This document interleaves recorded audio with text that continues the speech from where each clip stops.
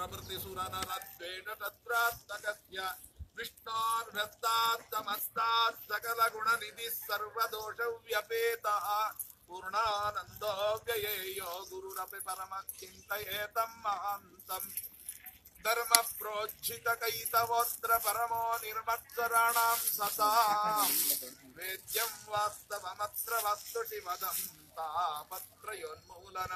श्रीमद्भागवते महामुनिकृते किं वा परैरीश्वरः यो हृद्यवरुध्यतेऽत्र कृतिभिः शुश्रूषुभिस्तच्चणात् फलम् सुखमुखात् पिबत भागवतम् रसमालयम् मुहुरवोः रसिकाः भुवि भावुकाः यं प्रौरजन्तमनुपेतमपेतकृत्यं द्वैपायनो विरहकातर आजुहाव। पुत्रेति तन्मयतया तरवोऽपि नेदुः। तं सर्वभूतहृदयं मुनिमानतोऽस्मि। यस्वानुभावमखिलश्रुतिसारमेनम् अध्यात्मतितीरुषतां तमोन्दं। संसारिणां करुणयाः पुराणगुह्यं। तं व्याससूनुमुपयामि गुरुं मुनीनाम्। ಶ್ರೀಗುರುಭ್ಯೋ ನಮಃ. ಹರಿ ಓಂ ಹರಿ ಓಂ ಹರಿ ಓಂ. ನಿನ್ನೆ ಹೇಳಿದ ಹಾಗೆ ಶ್ಲೋಕಂ ವಾ ಶ್ಲೋಕಪಾದಂ ವಾ ನಿತ್ಯಂ ಭಾಗವತೋತ್ತಮಂ ಒಂದು ಶ್ಲೋಕವನ್ನಾದ್ರೂ ಒಂದು ಶ್ಲೋಕದ ಕಾಲು ಭಾಗವನ್ನಾದ್ರೂ ಯಾರು. ಹೇಳ್ತಾರೆ ಕೇಳ್ತಾರೆ ಹೇಳಿಸ್ತಾರೆ. ಆ ಮೂರು ಜನರನ್ನು ಕೂಡ ಭಗವಂತನ ಉದ್ಧಾರ ಭಗವಂತನಿಂದ ಉದ್ಧತರಾಗ್ತಾರೆ ಅಂತ. ಇದು ವೇದವ್ಯಾಸ ದೇವರು ಈ ಜಾಗದಲ್ಲಿ ಕೂತುಕೊಂಡು ಪುರಾಣವನ್ನು ಹೇಳಿರ್ತಕ್ಕಂಥ ಜಾಗ. ಇದೊಂದು ಆಶ್ಚರ್ಯವಾಗಿರ್ತಕ್ಕಂತಹ ಘಟನೆ.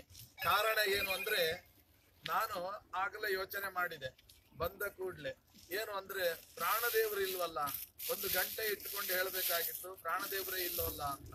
ಆಮೇಲೆ ಗೊತ್ತಾಯಿತು. ಏನು ಅಂದ್ರೆ, ನೋಡಿ, ನಾವು ಕೂಡಬೇಕು ಅಂತ ಕೂತದಲ್ಲ ಕಾಲಿಟ್ಟು ಅಂತ ಕೂತ್ವಿ. ಈ ಜಾಗ ಇದು ವಾಯುವ್ಯ ದಿಕ್ಕು.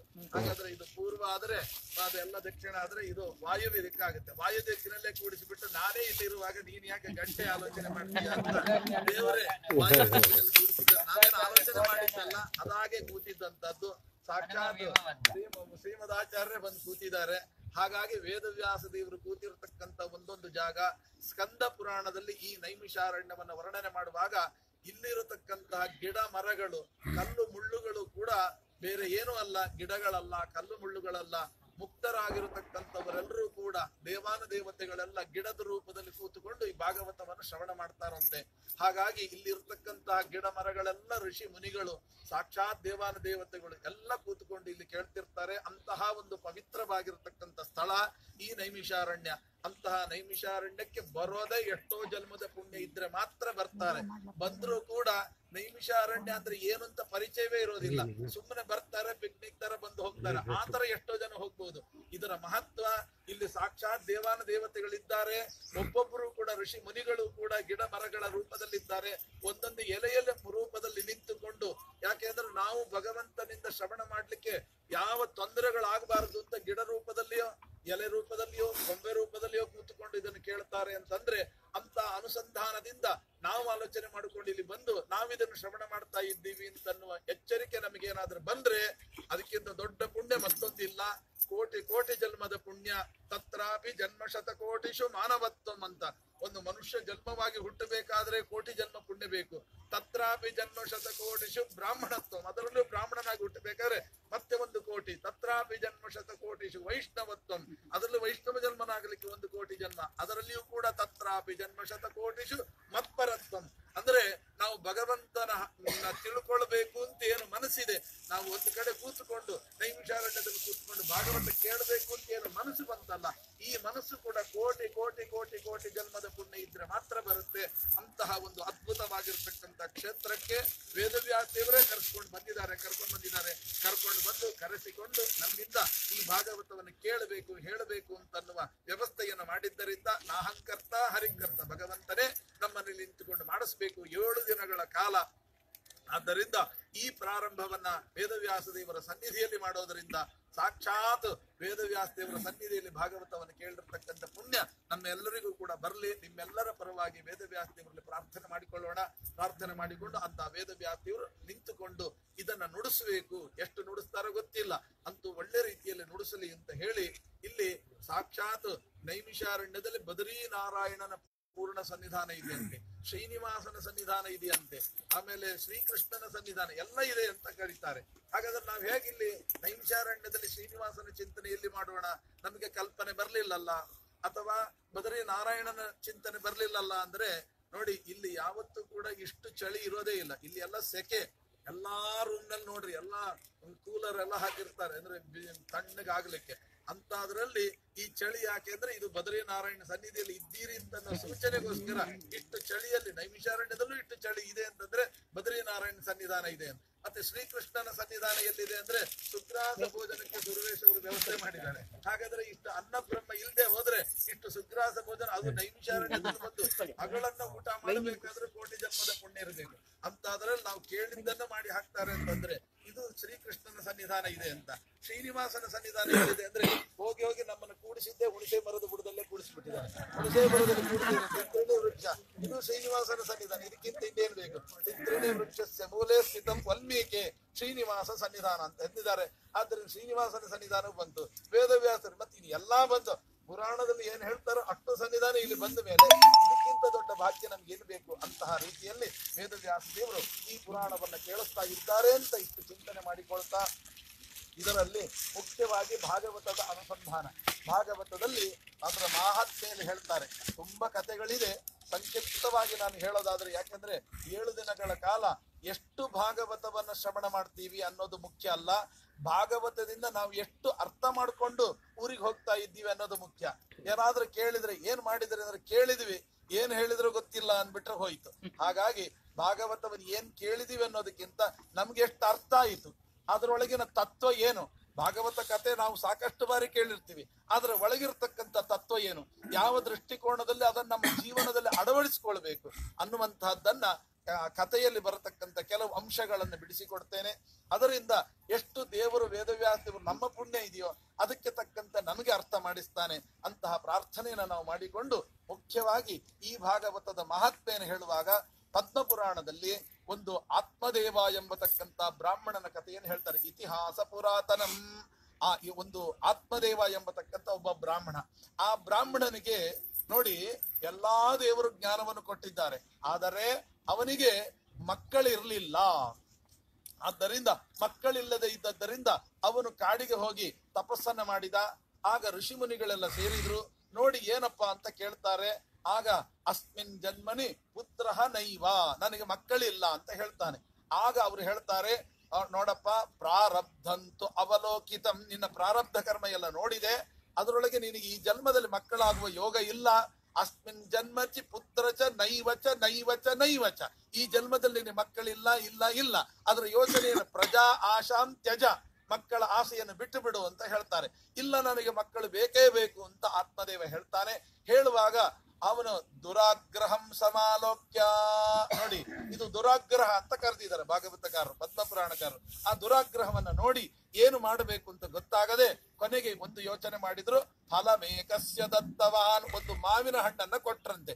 ಈ ಹಣ್ಣನ್ನ ತೆಗೆದುಕೊಂಡು ಹೆಂಡತಿ ಕೊಡು, ನಿನಗೊಂದು ಗಂಡು ಮಗು ಆಗುತ್ತೆ. ಆದರೆ ಒಂದ್ ಮೊದಲೇ ಹೇಳಿಬಿಡ್ತೇನೆ, ಆ ಮಗುವಿನಿಂದ ನಿನಗೆ ದುಃಖವೇ ಹೊರತು ಸುಖ ಸುತರಾಮ್ ಇಲ್ಲ. ಇದರ ಮೇಲೆ ನೀನು ಅದಕ್ಕೆ ಮಕ್ಕಳು ಬೇಡ ಅಂತ ನಾನು ಹೇಳಿದೆ. ನೀನು ಬೇಕೇ ಬೇಕು ಅಂತ ಹೇಳಿದ್ದರಿಂದ ನಿನಗೆ ಮಕ್ಕಳಾಗತ್ತೆ, ಆದ್ದರಿಂದ ಅದರಿಂದ ದುಃಖವೇ ಹೊರತು ಸುಖ ಇಲ್ಲ. ಏನು ಮಾಡ್ತೀಯೋ ಮಾಡ್ಕೋ ಅಂತ. ಸರಿ, ಆಯ್ತು ಸ್ವಾಮಿ, ದುಃಖ. ಆದ್ರೂ ಪರವಾಗಿಲ್ಲ. ಮಗುವಂತೂ ಸಿಗುತ್ತಲ್ಲ, ಸಂತೋಷ ಅಂತ ತಗೊಂಡು ಹೋಗ್ತಾನೆ. ಹೆಂಡತಿ ಕೊಡ್ತಾನೆ. ಹೆಂಡತಿ ಏನ್ ಮಾಡ್ತಾಳೆ? ಇದನ್ನ ತಗೊಂಡು ಗರ್ಭಿಣಿಯಾಗಿ, ಇವೆಲ್ಲ ಕರ್ಮ ಬೇಕಾ? ಅದ್ರದ್ದು ಏನ್ ಮಾಡೋದು ಅಂತ ಆಕಳಿಗೆ ಹಾಕಿಬಿಡ್ತಾಳೆ. ಆವಾಗ ಅವಳು ತಂಗಿ ಬಂದು ಕೇಳ್ತಾಳೆ, ಅಲ್ಲಪ್ಪ, ನಿನ್ ಗಂಡ ಕೇಳಿದ್ರೆ ಮತ್ತೆ ಏನ್ ಮಾಡ್ತೀಯ? ಹಾಗಾದ್ರೆ ಒಂದ್ ಕೆಲಸ ಮಾಡು. ನನ್ ಮಗುವನ್ನ ನೀನ್ ಕೊಟ್ಟು ಬಿಡ್ತೀನಿ ಅಂತ ತಂಗಿ ಅಕ್ಕನಿಗೆ ತನ್ನ ಮಗುವನ್ನು ಕೊಟ್ಟು ಬಿಡ್ತಾಳೆ ಈ ಮಗುವನ್ನ ನನ್ ಮಗು ಅಂತ ಹೇಳಿಬಿಡು ಅಂತ. ಕೊನೆಗೆ ಆಯ್ತು ಅಂತ. ಅವನ್ ಪಾಪ ಬೋಳಾಶಂಕರ ತರ ಇದ್ದ, ಆಯ್ತು, ನೀವ್ ಏನ್ ಕೊಡ್ತಿರೋದೇನು ಓ, ಇದು ನನ್ನ ಮಗ ಅಂತ ಸಾಕಿದ. ನೋಡಿದ್ರೆ ಅದು ತನ್ನ ಹೆಂಡತಿಯ ತಂಗಿಯ ಮಗುವನ್ನ ತನ್ನ ಮಗು ಅಂತ ಸಾಕಿದ.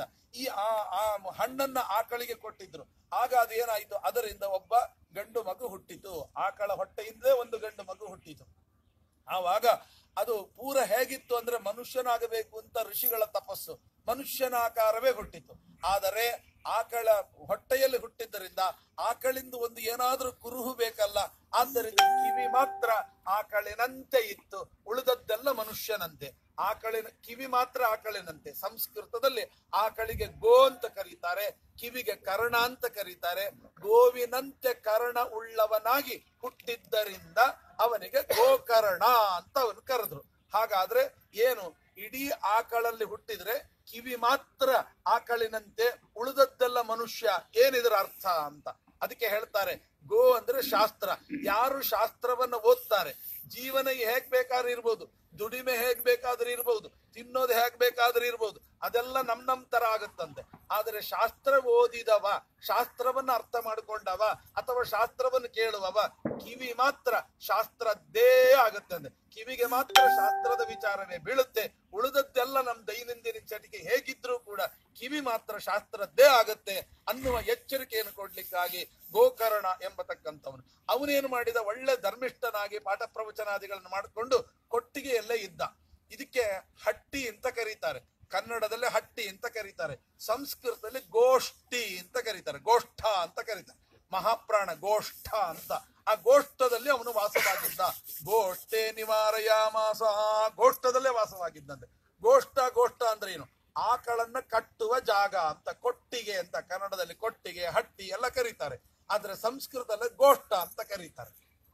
ಇಲ್ಲಿ ಒಂದು ನಮಗೆ ಪ್ರಶ್ನೆ ಬರ್ತದೆ ಆಕಳನ್ನು ಕಟ್ಟುವ ಜಾಗಕ್ಕೆ ಗೋಷ್ಠ ಅಂತ ಕರೀತಾರೆ. ಆಕಳ ಆಕಳ ಇರುವ ಜಾಗಕ್ಕೆ ಗೋಷ್ಠಿ ಅಂತ ಕರೀತಾರೆ. ಆದ್ರೆ ಇವತ್ತೆಲ್ಲ ನೋಡಿ ವಿದ್ವಾಂಸರನ್ನೆಲ್ಲ ಒಂದು ಕಡೆ ಕೂಡಿಸಿರ್ತಾರೆ. ಅದಕ್ಕೆ ವಿದ್ವದ್ ಗೋಷ್ಠಿ ಅಂತ ಕರೀತಾರೆ. ಇದೇನು ಆಕಳನ್ನು ಕಟ್ಟುವ ಜಾಗದ ಹೆಸರನ್ನ, ವಿದ್ವಾಂಸರನ್ನು ಕಟ್ಟುವ ಜಾಗಕ್ಕೆ ಗೋಷ್ಠಿ ಅಂತ ಯಾಕೆ ಕರೀತಾರೆ? ಅದಕ್ಕೆ ಸಂಸ್ಕೃತದಲ್ಲಿ ಗೋಷ್ಠಿ ಅಂದ್ರೆ ಏನು ಅಂದ್ರೆ ಹೊರಗಡೆ ಎಲ್ಲ ಮೇಯ್ಕೊಂಡ್ ಬರ್ತದಲ್ಲ.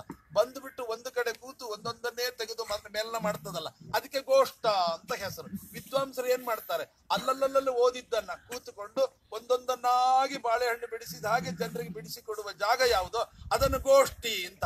ಆಕಳು ಹೇಗೆ ಮೇಲನ ಮಾಡ್ತದೆ, ಹಾಗೆ ವಿದ್ವಾಂಸರು ಕೂಡ ಅಲ್ಲಲ್ಲಲ್ಲಿ ಓದಿದ್ದನ್ನ ತಗೊಂಡು ಬಂದು ಎಲ್ಲರನ್ನು ಕೂಡಿಸಿ ಭಕ್ತರ ಮುಂದೆ ನಿಧಾನವಾಗಿ ಒಂದೊಂದನ್ನೇ ಹೇಳ್ತಾರೆ. ಆದ್ದರಿಂದ ಗೋಷ್ಠ ಮಾಡುವ ಕೆಲಸವೇ ಇವರು. ಆದ್ದರಿಂದ ಇದನ್ನೆಲ್ಲ ವಿದ್ವದ್ ಗೋಷ್ಠಿ, ಜ್ಞಾನ ಗೋಷ್ಠಿ ಅಂತ ಕರೀಲಿಕ್ಕೆ ಶುರು ಮಾಡಿದ್ರು. ಹಾಗಾಗಿ ಅಂತ ರೀತಿಯಲ್ಲಿ ಗೋಕರ್ಣ ಮಾಡ್ತಾ ಇದ್ರೆ ಆತ್ಮದೇವನ ಮಗ, ಅವನು ಭಾರಿ ದುಂದುಕಾರಿ ಅಂತ ಹೆಸರು ಬಂತು. ಮಾಡೋದೇ ದುಂದು ದುಂದು ಬೇಡ, ಮಾಡಬಾರದ್ದನ್ನೇ ಮಾಡೋದಕ್ಕೆ ಅವನಿಗೆ ಆ ಹೆಸರು ಬಂದಿದೆ. ಎಲ್ಲಿ ತನಕ ಅಂದ್ರೆ ವೇಶ್ಯೆಯರನ್ನ ಮನೆಯಲ್ಲಿ ಇಟ್ಕೊಳ್ಳಿಕ್ಕೆ ಶುರು ಮಾಡಿದ, ತಂದೆ ತಾಯಿಯನ್ನು ಒದ್ದು ಹೊರಗೆ ಹಾಕಿಬಿಟ್ಟ ಆವಾಗ ಇಲ್ಲೊಂದು ಪ್ರಶ್ನೆ ಬಂತು. ಆ ತಂದೆ ಏನು ಮಾಡಿದ? ಯಾವಾಗ ತಾಯಿ ಸತ್ತೇ ಹೋಗ್ಬಿಟ್ಲು. ತಂದೆ ಏನು ಮಾಡಿದ? ಹೊರಗೆ ಒದ್ದು ಹೊರಗೆ ಹಾಕಿದಾಗ ಇನ್ನೇನ್ ಮಾಡೋದು ಅಂತ ಹೊರಟಿದ್ದ. ಎಲ್ಲಿಗೆ ಹೊರಟಿದ್ದ ಅಂದ್ರೆ ಆತ್ಮ ತ್ಯಜೇತ್ ಅಂದ್ರೆ ದೇಹವನ್ನ ತ್ಯಾಗ ಮಾಡ್ಲಿಕ್ಕೆ. ಆತ್ಮಹತ್ಯೆ ಅಂತ ಇಟ್ಕೊಳ್ಳಿ. ಇವತ್ತಿನ ಶಬ್ದದಲ್ಲಿ ಹೇಳ್ಬೇಕಾದ್ರೆ ಸುಸೈಡ್ ಮಾಡ್ಕೊಳ್ಳಿ ಹೊರಟ. ಯಾಕೆಂದ್ರೆ ಜೀವನದಲ್ಲಿ ಸಮಸ್ಯೆ. ಜೀವನದಲ್ಲಿ ಸಮಸ್ಯೆ ಆದ್ರೆ ಏನ್ ಮಾಡೋದು? ಸುಸೈಡ್ ಮಾಡ್ಕೊಳ್ಳೋದು. ಏನು ಸುಲಭವಾದ ಉಪಾಯ? ಏನಾದ್ರು ಸಮಸ್ಯೆ ಆಯ್ತಾ? ಸುಸೈಡ್ ಮಾಡ್ಕೊಂಡ್ಬಿಡ್ತೇನೆ. ಇದೇನ ಪರಿಹಾರ ಅಲ್ಲ ಭಾಗವತ ಹೇಳುತ್ತೆ. ಆವಾಗ ಮಗ ಕೊಟ್ಟಿಗೆಯಲ್ಲಿ ಕೂತ್ಕೊಂಡಿದ್ದ. ಯಾವ ದೊಡ್ಡ ಮಗ? ಯಾರು? ಗೋಕರ್ಣ. ಅವನಂದ, ಅಪ್ಪ ಅಂದ. ಏನಪ್ಪ ಅಂದ? ಅದು ಎಲ್ಲಿಗೆ ಹೊರಟಿದ್ದಿ ಅಂತ. ಅಲ್ಲಿಗೆ ನೋಡಿ, ಮೊದಲನೇ ಪೆಟ್ಟೆ. ಏನು? ಎಲ್ಲಿಗೆ ಹೊರಟ್ರಿ ಅಂದ್ರೆ ಮುಗಿಯಿತು ಅಂತ ಅರ್ಥ. ಅಲ್ಲಿಗೆ ನೋಡಿ ಆತ್ಮಹತ್ಯೆ ಮಾಡ್ಕೊಳ್ಳಿಕ್ಕೆ ಹೊರಟಾಗ ಎಲ್ಲಿಗೆ ಅಂತ ಕೇಳ್ಬೇಕಂತೆ. ಬೇರೆ ಒಳ್ಳೆ ಕೆಲಸಕ್ಕೆ ಹೋದಾಗ ಎಲ್ಲಿಗೆ ಅಂತ ಕೇಳಬಾರ್ದಂತೆ. ಅವಾಗ ಎಲ್ಲಿಗೆ ಹೊರಟಿದ್ದಿ ಅಂತ ಕೇಳಿದ್ರಂತೆ. ಅವಾಗ ಆತ್ಮಹತ್ಯೆ ಮಾಡ್ಕೊಳ್ಳಿಕ್ಕೆ ಹೊರಟಿದ್ದೇನೆ ಅಂತ. ಆಗ ಅವನನ್ನ, ನೀ ಆತ್ಮಹತ್ಯೆ ಮಾಡ್ಕೊಳ್ಳಿಕ್ಕೆ ನಾನು ಖಂಡಿತ ಬೇಡ ಅವಶ್ಯವಾಗಿ ಹೋಗು, ನಿರ್ವಿಘ್ನವಾಗಿ ನಡೀಲಿ. ಆದರೆ ಮಗನಾಗಿ ಹುಟ್ಟಿದ್ದರಿಂದ ಒಂದು ನಾಲ್ಕು ಮಾತು ಹೇಳಬೇಕಾದ ನನ್ನ ಕರ್ತವ್ಯ. ಹೇಳ್ತೇನೆ. ಅದ್ರ ಮೇಲೆ ನೀನ್ ಏನ್ ಬೇಕಾದ್ರೂ ಮಾಡ್ಕೋ. ಆಯ್ತಪ್ಪ, ಹೇಳು ಅಂತ. ಆಗ ಗೋಕರ್ಣ ಹೇಳ್ತಾನೆ, ಇವತ್ತಿನ ದಿವಸ ನಿನಗೆ ಆತ್ಮಹತ್ಯೆ ಮಾಡ್ಕೊಳ್ಳಿಕ್ಕೆ ಮನಸ್ಸು ಬಂತಲ್ಲ. ಯಾಕೆ ಬಂತು ನಿನಗೆ ಮನಸ್ಸು? ಆತ್ಮಹತ್ಯೆ ಮಾಡ್ಕೊಳ್ಬೇಕಾದಂತಹ ಅವಶ್ಯಕ ದೌರ್, ದೌರ್ಭಾಗ್ಯ ನಿನಗೆ ಯಾಕೆ ಬಂತು ಗೊತ್ತಾ? ಆವಾಗ ಅವನು ಹೇಳ್ತಾನೆ, ನೋಡಪ್ಪ ಯಾವುದರ ಮೇಲೆ ಯಾರಿಂದಾಗಿ ನಿನಗೆ ಆತ್ಮಹತ್ಯೆ ಮಾಡ್ಕೊಳ್ಬೇಕು ಅಂತ ಅನಿಸ್ತು ಮಗನಿಂದಾಗಿ. ಆದರೆ ಜೀವನ ಭಾಗವತ ಹೇಳುತ್ತೆ, ಏನು? ಜಾಯಾಸುತಾದಿಶು ಸದಾ ಮಮತಾಂಬಿ ಮುಂಚ. ಹೆಂಡತಿ, ಮಕ್ಕಳು, ಮನೆ, ಐಶ್ವರ್ಯ, ಸಂಪತ್ತು, ವಾಹನ, ಇದರ ಮೇಲೆ ಅತಿಯಾದ ವ್ಯಾಮೋಹ ಯಾರು ಬೆಳೆಸ್ಕೊಳ್ತಾರೆ, ಅವನಿಗೆ ಇದೇ ದುರ್ಗತಿ ಬರುತ್ತೆ ಅಂತ ಹೇಳಿಬಿಟ್ಟ. ಇದು ತತ್ವ ಅಂದ. ಹಾಗಾದ್ರೆ ನಾವು ಆ ವ್ಯಾಮೋಹ ಇಟ್ಕೋಬಾರ್ದ. ಖಂಡಿತ ಇಟ್ಕೋಬಾರ್ದು. ಮತ್ತಲ್ರಿ ನನ್ನ ಹೆಂಡತಿ, ನನ್ನ ಮಗ, ನನ್ನ ಮನೆ, ನಾನು ಅಭಿಮಾನ ಪಡೋದ್ರಲ್ಲಿ ಏನ್ ತಪ್ಪಿದೆ? ತಪ್ಪಿಲ್ಲ. ಮತ್ ನೀವು ವ್ಯಾಮೋಹ ಹೇಳಿ, ಹೇಳಿದ್ರಲ್ಲ, ತಪ್ಪು ಅಂತ ಹೇಳಿದ್ರಲ್ಲ, ಅದೇ ಶಾಸ್ತ್ರದ ಅರ್ಥ. ಅಲ್ಲಿ ಏನ್ ಹೇಳಿದ್ದಾರೆ? ವ್ಯಾಮೋಹ ಮಾಡಬೇಡ ಅಂತ ಹೇಳಿದ್ದಾರೆ ಹೊರತು ಮೋಹ ಮಾಡಬೇಡ ಅಂತ ಹೇಳಲಿಲ್ಲ. ಏನ್ ಸ್ವಾಮಿ, ವ್ಯಾಮೋಹ, ಮೋಹ ವ್ಯತ್ಯಾಸ ಏನು? ಮೋಹ ಅಂದ್ರೆ ಏನ್ ಗೊತ್ತಾ? ಏನು ಇದೆಯೋ ಅದನ್ನ ಹಾಗೆ ತಿಳ್ಕೊಳ್ಳೋದು ಮೋಹ. ವ್ಯಾಮೋಹ ಅಂದ್ರೆ ಏನು ಗೊತ್ತಾ? ಏನಿಲ್ಲ, ಅದನ್ನು ತಿಳ್ಕೊಳ್ಳೋದು ಅದು ವ್ಯಾಮೋಹ. ಈಗ ನನ್ನ ಹೆಂಡತಿ ಅಂತ ತಿಳ್ಕೊಳ್ಳೋದು ತಪ್ಪಲ್ಲ. ನನ್ನ ಹೆಂಡತಿನೇ ನನ್ ಸರ್ವಸ್ವ, ಇದನ್ನ ಬಿಟ್ರೆ ನನ್ ಜಗತ್ತೇ ಇಲ್ಲ. ಎಲ್ಲದಕ್ಕಿಂತ ದೊಡ್ಡದು ಹೆಂಡತಿ ಅಂತಂದ್ರೆ ತಪ್ಪು. ನನ್ನ ಮಗನಿಗಿಂತ ದೊಡ್ಡ ವಸ್ತು ಜಗತ್ತಿನಲ್ಲಿ ಇಲ್ಲ ಅಂತ ತಿಳ್ಕೊಂಡ್ರೆ ತಪ್ಪು. ಇವ್ ನನ್ನ ಮಗ ಅಂತ ತಿಳ್ಕೊಂಡ್ರೆ ತಪ್ಪಲ್ಲ. ನನ್ನ ಮಗ ಅಂತ ತಿಳ್ಕೊಳ್ಳೋದು ಸರಿ. ಆದ್ರೆ ನನ್ನ ಮಗನೇ ನನ್ ಸರ್ವಸ್ವ, ಇವನೇ, ಇವನ್ ಬಿಟ್ರೆ ನನ್ಗೆ ಇನ್ಯಾರಿಲ್ಲ ಇದು ವ್ಯಾಮೋಹ. ಮೋಹ ಬೇರೆ, ವ್ಯಾಮೋಹ ಬೇರೆ. ಮೋಹ ಮಾಡಬಹುದು ವ್ಯಾಮೋಹ ಮಾಡಬಾರದು. ಆಗ ಅದನ್ನ ಹೇಳ್ತಾರೆ, ಮಗನ ಮಕ್ಕಳ ಮೇಲೆ ವ್ಯಾಮೋಹ ಇಟ್ಟಿದೆಯಲ್ಲ, ಅದೇ ನಿನ್ನ ಇವತ್ತು ದುರ್ಗತಿಗೆ ಕಾರಣ ಅಂದ್ರು. ಅಲ್ಲಪ್ಪ, ಹೆಂಡತಿ ಮಕ್ಕಳನ್ನ ನಮ್ಮ ಹೆಂಡತಿ ಮಕ್ಕಳು ತಿಳ್ಕೊಳ್ಳೋದು ಬೇರೆಯವ್ರನ್ನ ತಿಳ್ಕೊಳ್ಳಿಕ್ಕಾಗುತ್ತೇನೋ ಆದ್ದರಿಂದ ನಾನು ತಿಳ್ಕೊಂಡಿದ್ದೀನಿ. ಇದು ತಿಳ್ಕೊಳ್ಬಾರ್ದು ಅಂದ್ರೆ ಏನ್ ಮಾಡ್ಬೇಕು? ನನಗಿಂತ ವ್ಯಾಮೋಹ ಹೋಗ್ಬೇಕಂದ್ರೆ ಏನ್ ಮಾಡ್ಬೇಕು? ಅಂತ ಹೇಳಿದಾಗ ಅದಕ್ಕೆ ಹೇಳ್ತಾರೆ ಅಂತ ವ್ಯಾಮೋಹ ಎಷ್ಟು ಹೇಳಿದ್ರೂ ಇರುತ್ತೆ. ಇವತ್ತು ನಾನು ಹೇಳಿದ ಹೆಂಡತಿ ಮಕ್ಕಳ ಮೇಲೆ ವ್ಯಾಮೋಹ ಹೊಟ್ಟೋಗುತ್ತೇನು ಏನು ಆಚಾರ ಹೇಳಿಬಿಟ್ರು, ಇನ್ಮೇಲೆ ಹೆಂಡತಿ ಮಕ್ಕಳು ವ್ಯಾಮೋಹ ಇಲ್ಲ ಅಂತ ಅಂದ್ಬಿಟ್ರೆ ಗತಿ ಏನು? ಆಮೇಲೆ ಅವ್ರು ನಮ್ಮನ್ನು ಓಡಿಸ್ಕೊಂಡ್ ಬರ್ತಾರೆ. ಹಾಗೆ ಮತ್ತೆ ಏನಾಗಾರೆ ವ್ಯಾಮೋಹ ಇದ್ದೇ ಇರುತ್ತೆ. ಮತ್ತೆ ಏನು, ಈ ವ್ಯಾಮೋಹ ಹೋಗೋದು ಹೇಗೆ? ಅಂದರೆ ಇದು ಒಂದು ದಿನ ಕೇಳಿದಾಗ ಹೋಗುವಂತದ್ದಲ್ಲ, ನಿರಂತರ ಸೇವಾ ಕಥಾ ರಸಮಹೋ ನಿತರಾಂಪಿವತ್ವಂ ನಿರಂತರವಾಗಿ ಕೇಳ್ತಾ ಇರಬೇಕು. ಹರಿಕಥಾ ಶ್ರವಣ ಮಾಡೋ, ನಿರಂತರ. ನಿರಂತರ ಕೇಳ್ತಾ ಇದ್ರೆ ಖಂಡಿತವಾಗಿಯೂ ಈ ವ್ಯಾಮೋಹ ಇರೋದಿಲ್ಲ. ಹಾಗಾದ್ರೆ ನಿರಂತರ ಕೇಳಬೇಕು ಅಂತ ಹೇಳ್ತಿ, ಮನಸ್ಸು ಬರ್ಬೇಕಲ್ಲ. ಇವತ್ತು ಇವತ್ತೇನೋ ನಮ್ಗೆ ಕರ್ಕೊಂಡ್ ಬಂದಿದ್ದಾರೆ ಸುರೇಶ್ ಅವರು, ಬಂದ್ ಕೇಳ್ತೀವಿ. ಏನು ಮುಂದೆ ಏಳು ದಿನ ಆದ್ಮೇಲೂ ಕೇಳಬೇಕು ಅಂತ ಏನಾದ್ರೆ ನಮ್ ಕೆಲಸ ನಾವು ಇದ್ರಲ್ಲಿ ಇರ್ತೀವಿ. ಅವಾಗ ನಿರಂತರ ಕೇಳೋದೆ ಹೇಗೆ? ಅದಕ್ಕೆ ಹೇಳ್ತಾರೆ, ನಿರಂತರ ಕೇಳಬೇಕು ಅಂತಂದ್ರೆ ಅಷ್ಟು ಸುಲಭವಾಗಿ ಅಲ್ಲ. ಏಳು ದಿನನೂ ಕಷ್ಟಪಟ್ಟು ಹಿಡಿದು ಕೂಡಿಸಿ ಕೇಳ್ಬಹುದು ಮುಂದೆ ನಿರಂತರವಾಗಿ ಕೇಳ್ಬೇಕಾದ್ರೆ ಏನ್ ಮಾಡ್ಬೇಕು?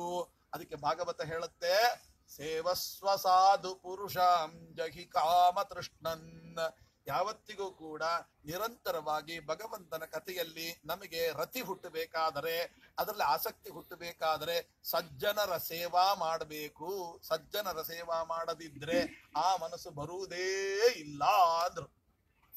ಹೌದಪ್ಪ, ನೀ ಹೇಳ್ತೀಯ ಸಜ್ಜನರ ಸೇವಾ ಮಾಡಬೇಕು. ಸಜ್ಜನರು ಯಾರು ಅಂತ ಗೊತ್ತಾಗಲ್ಲ ಎಲ್ಲಿದ್ದಾರೋ ಹುಡುಕಿದ್ರು ಸಿಗಲ್ಲ.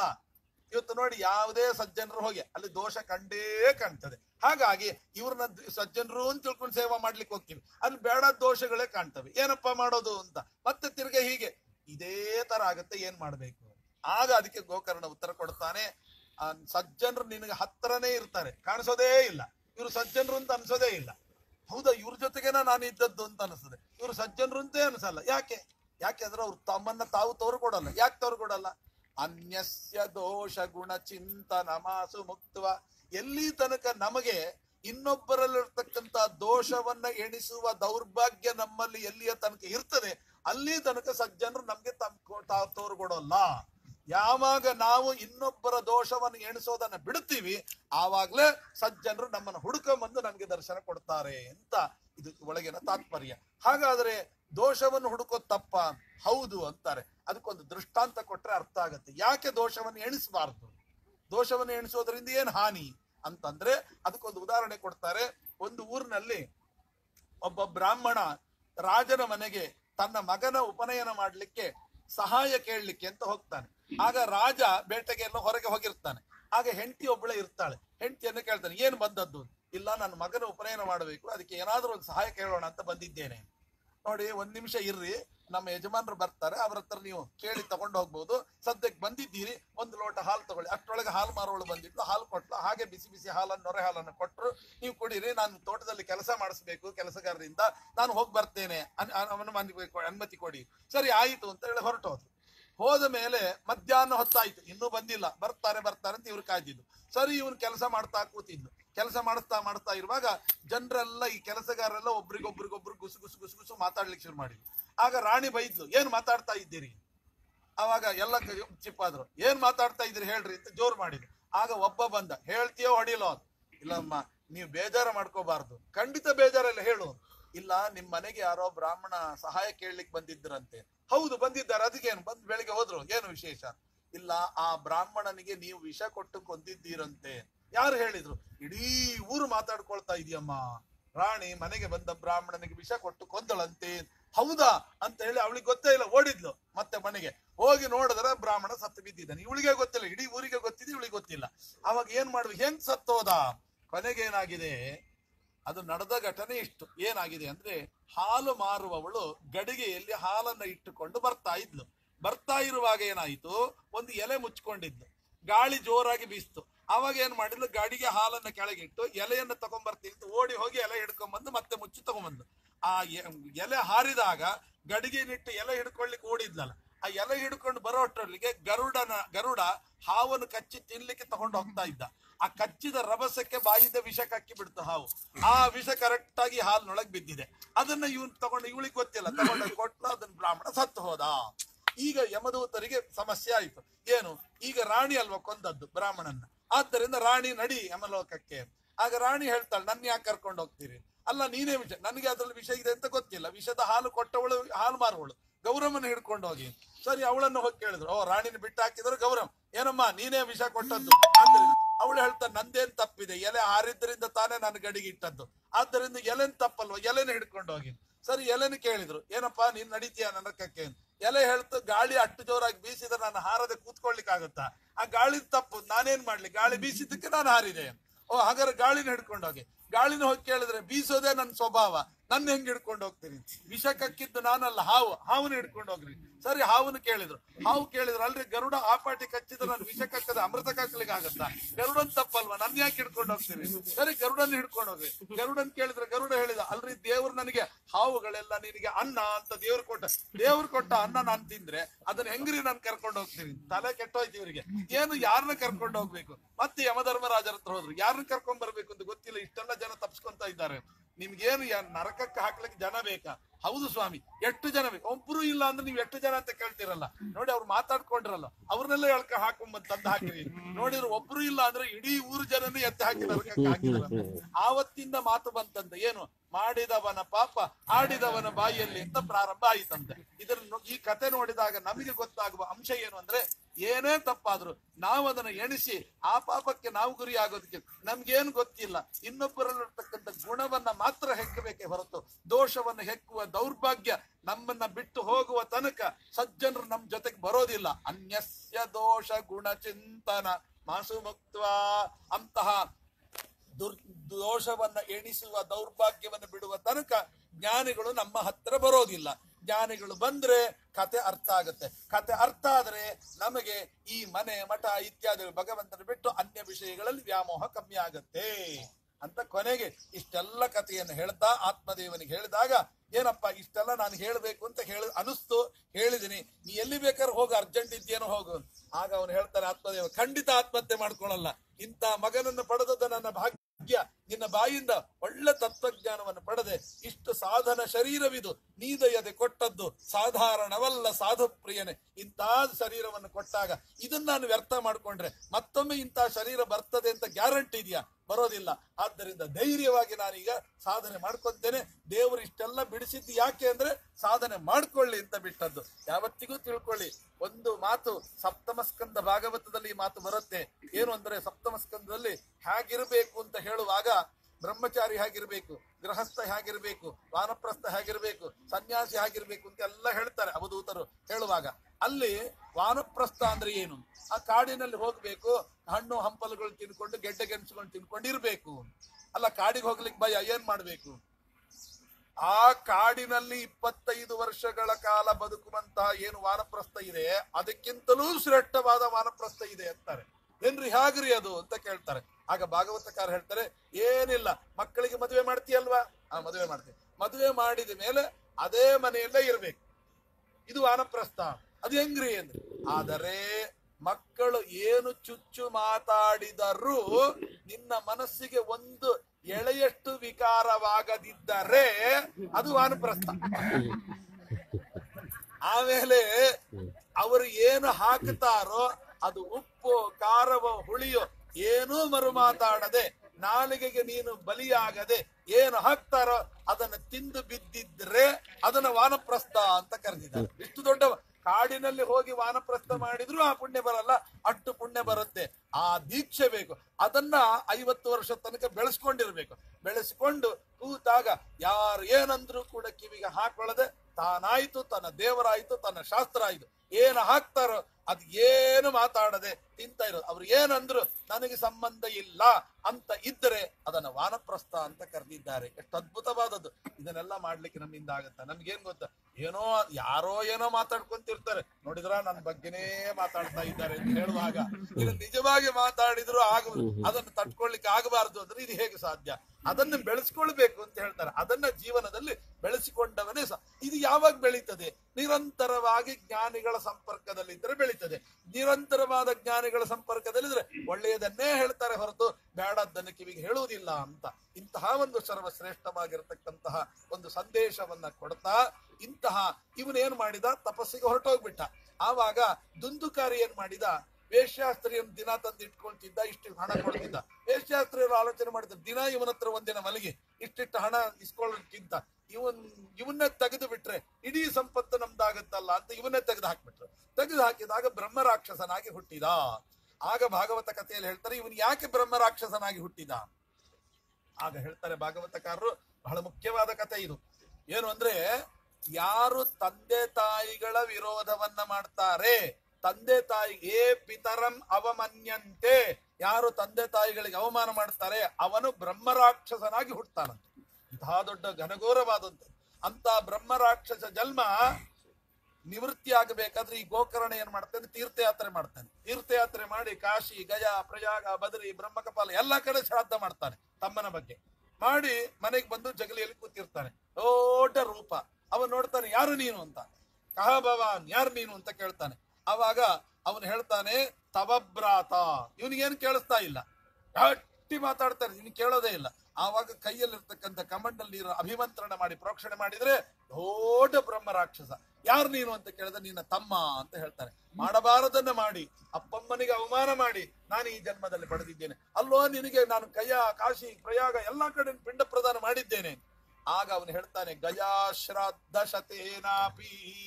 ನೂರು ಬಾರಿ ನೀನು ಯಾತ್ರೆ ಮಾಡಿ ಎಲ್ಲಾ ಕಡೆ ಪಿಂಡ ಹಾಕಿದ್ರು ಉದ್ಧಾರ ಆಗದಿದ್ದ ಪರಮ ಪಾಪಿಷ್ಟ ನಾನು. ವಿಜೇಂದ್ರ ಸ್ವಾಮಿಗಳವರು ಹೇಳ್ತಾರೆ, ಮಮ ಪಾಪ ಸಮಾನ ಪಾಪ ಕರ್ತ ಪುರುಷೋ ನಾಸ್ತಿ ನಾಸ್ತಿ ನಾಸ್ತಿ ನಾಸ್ತಿ. ಅಂತಹ ಪರಮ ಪಾಪಿಷ್ಟ ನಾನು ಇಂತಹ ಪಾಪಿಷ್ಟ ನೀ ಏನ್ ಪಿಂಡ ಹಾಕಿ ಏನು ಉಪಯೋಗ? ಮತ್ತೆ ಏನ್ ಮಾಡ್ಬೇಕು ಹಾಗಾದ್ರೆ? ನೀನು ಸೂರ್ಯನ ಕುರಿತು ಕೇಳು. ಆಗ ಸೂರ್ಯನ ಕುರಿತು ತಪಸ್ ಮಾಡ್ತಾನೆ ಸೂರ್ಯ ದೇವರು ಪ್ರತ್ಯಕ್ಷರಾಗ್ತಾರೆ. ನನ್ನ ತಮ್ಮ ಉದ್ಧಾರ ಆಗ್ಬೇಕು, ಅದಕ್ಕೆ ಏನ್ ಮಾಡ್ಬೇಕು ಹೇಳಿ? ಆವಾಗ ಅವ್ರು ಹೇಳ್ತಾರೆ, ನೋಡಪ್ಪ, ಯಾವ ಶ್ರಾದ್ದ ಗಯಾದಿಗಳಲ್ಲಿ ಶ್ರಾದ್ದ ಮಾಡಿದ್ರೂ ಫಲ ಬರೋದಿಲ್ಲ. ಅಂತ ಶ್ರೇಷ್ಠವಾದ ಫಲ ಭಾಗವತ ಸಪ್ತಾಹಂ ಕುರು.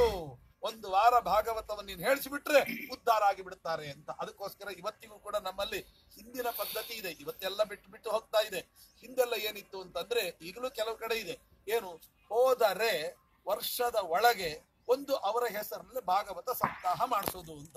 ವರ್ಷಾಂತಿಕ ಆಗೋದ್ರೊಳಗೆ ಅವರ ಹೆಸರಿನಲ್ಲಿ ಭಾಗವತ ಸಪ್ತಾಹ ಮಾಡಿಬಿಟ್ರೆ ಅವನಿಗೆ ಪ್ರೇತ ಜನ್ಮ ನವಾಪ್ನೋತಿ. ಪ್ರೇತ ಜನ್ಮವೇ ಬರೋದಿಲ್ಲ ಅಂತ ಹೇಳ್ತಾರೆ. ಅಂತಹ ಭಾಗವತಕ್ಕೆ ಅಷ್ಟು ಅದಕ್ಕೆ ಒಂದು ಉದಾಹರಣೆ ಅಂದ್ರೆ ಇವನೇ ಬ್ರಹ್ಮ ರಾಕ್ಷಸ ಇವನೇನ್ ಮಾಡಿದ? ಗೋಕರ್ಣ. ಒಂದು ದೊಡ್ಡ ಬಿದುರಿನ ಗಿಡವನ್ನ ತಂದಿಟ್ಟ. ಅದಕ್ಕೆ ಏಳು ಗಂಟುಗಳಿತ್ತು. ಏಳು ಗಂಟುಗಳಲ್ಲಿ ಏನ್ ಮಾಡ್ತಿದ್ದ ಅಂದ್ರೆ ಒಂದೊಂದು ದಿನ ಪ್ರವಚನ. ಆ ಬಿದುರಿನ ಗಂಟಿನಲ್ಲಿ ತಮ್ಮನನ್ನ ಆವಾಹನೆ ಮಾಡಿದ ಪ್ರೇತನನ್ನ. ತಾನು ಭಾಗವತ ಹೇಳಬೇಕು. ಒಂದು ದಿನ ಪ್ರ ಪ್ರವಚನ ಮುಗಿದುಕೊಳ್ಳೆ ಒಂದು ಗಂಟು ಫಟ್ ಅಂತ ಶಬ್ದ. ಎರಡನೇ ದಿನ ಹೇಳುವಾಗ ಎರಡನೇ ಗಂಟು. ಏಳು ದಿನದಲ್ಲಿ ಏಳು ಗಂಟುಗಳು ಒಡೆದು ಪುಷ್ಪಕ ವಿಮಾನ ಬಂದು ಅದರಲ್ಲಿ ಕೂತ್ಕೊಂಡು ಹೊರಟು ಹೋದ ಅವಾಗ ಇಲ್ಲಿ ಪ್ರಶ್ನೆ ಬಂತು. ಏನು ಅಂದ್ರೆ ಸುಮಾರು ಜನ ಇದ್ರು ಅಲ್ಲಿ ಭಾಗವತ ಹೇಳುವಾಗ. ಆವಾಗ ಅವರೆಲ್ಲ ಕೇಳ್ತಾರೆ ಏನು ಅಂತ ವಯಂತ ಸರ್ವೇ ಭಾಗವತಂ ಎಲ್ಲ ಭಾಗವತ ಕೇಳಿದ್ದೀವಿ. ಮತ್ತೆ ಅತ್ರ ಫಲ ಭೇದೋ ಫಲ ಭೇದೋತ್ರ ಕುತಃ. ಅವನಿಗೊಬ್ಬರಿಗೆ ಪುಷ್ಪ ಗೊಬ್ಬರ ಕರ್ಕೊಂಡು ನಮಗೆಲ್ಲ ಯಾಕೆ ಬರ್ಲಿಲ್ಲ?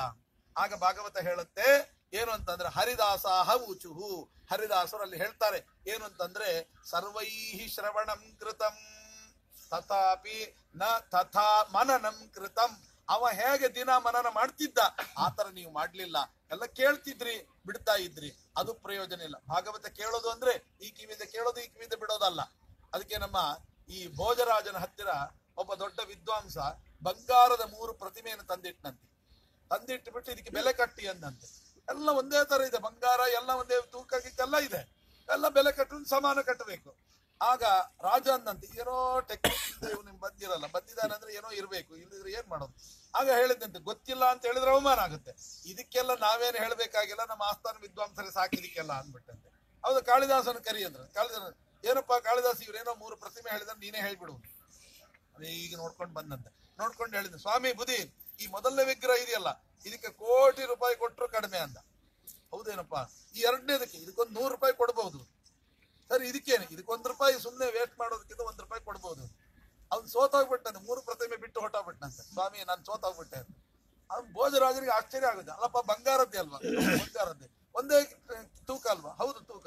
ಮತ್ತೆ ಇದಕ್ಕೆಲ್ಲ ಬೆಲೆನೇ ನೀವು ಹೆಂಗ್ ವ್ಯತ್ಯಾಸ ಮಾಡಿದ್ದೀರಿ ಸ್ವಾಮಿ ಪ್ರತಿಮಾ ಹೌದು, ಬೆಲೆ ಅದಕ್ಕಲ್ಲ. ನೋಡಿ ಅಂದ ಒಂದು ಬಂಗ ಬೆಳ್ಳಿ ತಂತಿ ತಗೊಂಡ್ ಬಂದಂತೆ. ತಂತಿ ಹಾಕಿ, ನೋಡಿ ಇದಕ್ಕೆಲ್ಲ ಕೋಟಿಗಟ್ಲೆ ಬೆಲೆ ಕೊಟ್ಟರು ಕಡಿಮೆ ಅಂತ ಹೇಳಿದ್ನಲ್ಲ, ಯಾಕೆ ಅಂತ ನೋಡಿ, ಕಿವಿಗೆ ತಂತಿ ಹಾಕಿದ್ದಂತೆ ಹೀಗೆ. ತಂತಿ ಹೊಕ್ಕಳೊಳಗೆ ಬಂತಂತೆ. ನೋಡಿ ಸ್ವಾಮಿ, ಅದಕ್ಕೆ ಇದಕ್ಕೆ ಬೆಲೆ ಅನ್ನ ನೋಡಿ, ತಂತಿ ಇಲ್ಲಿ ಹಾಕಿ ಹೊಕ್ಕಳಿಗೆ ಬಂತು. ಅಂದ್ರೆ ಏನು? ಏನು ಶ್ರವಣ ಮಾಡ್ತೀವಿ, ಅದೆಲ್ಲ ಒಳಗಿಳಿಬೇಕು. ಯಾವ ಏನೇ ಶ್ರವಣ ಮಾಡಿದ್ರು ಒಳಗಿಳಿದ್ರೆ ಅದು ಸಾರ್ಥಕ ಶ್ರವಣ ಅಂತ ತೋರಿಸಿಕೊಡ್ತಾ ಇದೆ, ಅದಕ್ಕೆ ಕೋಟಿಗಟ್ಟಲೆ ಬೆಲೆ.